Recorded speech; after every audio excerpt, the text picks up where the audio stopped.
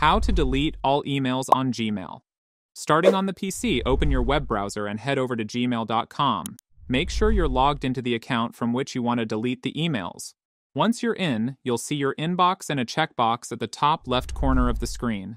Click this checkbox to select all the emails on the current page. Now, Gmail can only select 50 emails at a time, which is your page view limit. After selecting the emails, you'll notice a message above your emails that says, Select all conversations in primary. Click on this link to select every single email in your inbox.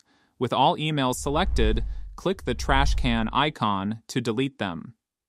Remember, this moves the emails to the trash, where they will be permanently deleted after 30 days automatically. Or you can empty the trash manually to delete them sooner. Moving to mobile, the process is just as simple.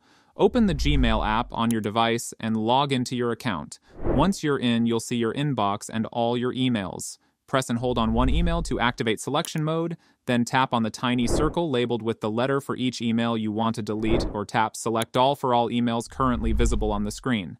At this time, you can only select 50 mails. You want to select more. Scroll down to the last email. Again, tap on Select All.